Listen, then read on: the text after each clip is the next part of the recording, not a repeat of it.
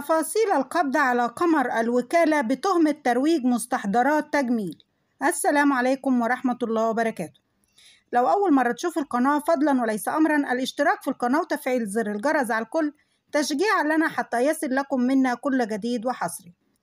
ألقت الأجهزة الأمنية في القاهرة القبض على قمر الوكالة بتهمة بيع مستحضرات تجميل مجهولة المصدر واتخذت الإجراءات القانونية اللازمة وجاري عرضها على جهات التحقيق. ورصدت الأجهزة الأمنية في وزارة الداخلية مقاطع فيديو لإحدى السيدات وشهرتها قمر الوكالة تعلن فيها بيع مستحضرات تجميل للسيدات. وبالفحص تبين أن السيدة من منطقة الوكالة وتبيع مستحضرات تجميل مجهولة المصدر ما تعرض حياة المواطنين للخطر.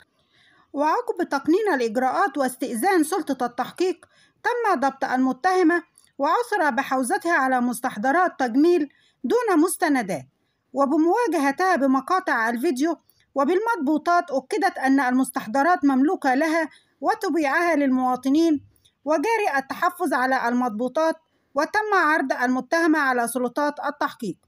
ربنا يستر ويسلم يا رب. نشكركم على حسن المتابعة. والسلام عليكم ورحمة الله وبركاته.